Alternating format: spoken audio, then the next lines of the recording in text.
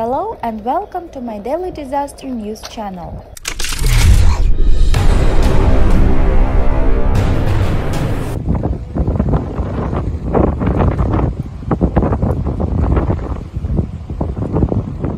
The information in the video shows an incident in Akita, Japan.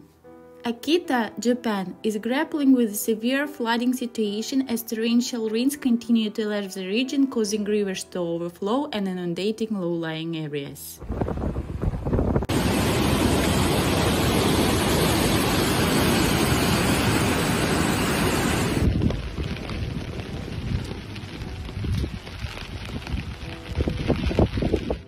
Local authorities have issued evacuation orders to ensure the safety of residents and to mitigate potential risks to life and property.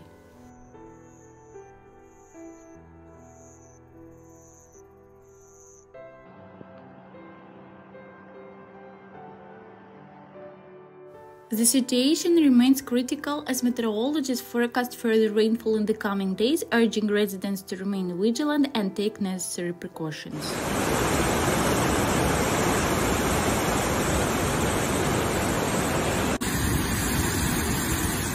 Don't forget to subscribe to the channel to keep abreast of the most important changes on the planet.